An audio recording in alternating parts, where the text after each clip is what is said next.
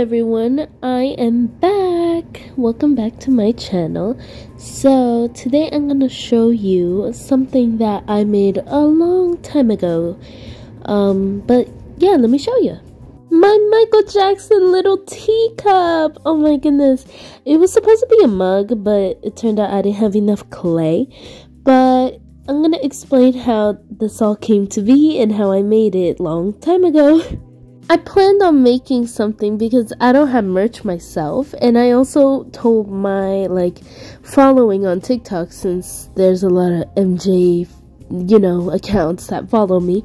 So I asked them what they wanted, what they what they desire to make it look good, you know? I want to make sure it looked good. So I put what they suggested and it made it look so cute. I was so proud of it. Um, the building for it, it took a while. I didn't know if I was going to put two eyes, both of Michael's eyes on it, but um, it was a teacup, so I just put one eye. During the glazing um, and the carving was a little like, I didn't know really what to do for that. I just, you know, winged it something. I just tried to make it look at least good. Eventually, it did come out the way that I was planning, the way everybody was telling me it would look. So, after it's done, it would look amazing, you know?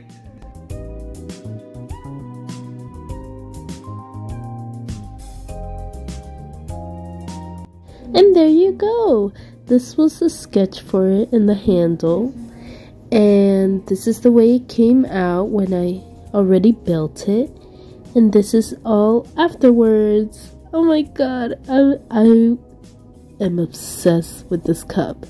Like it came out good.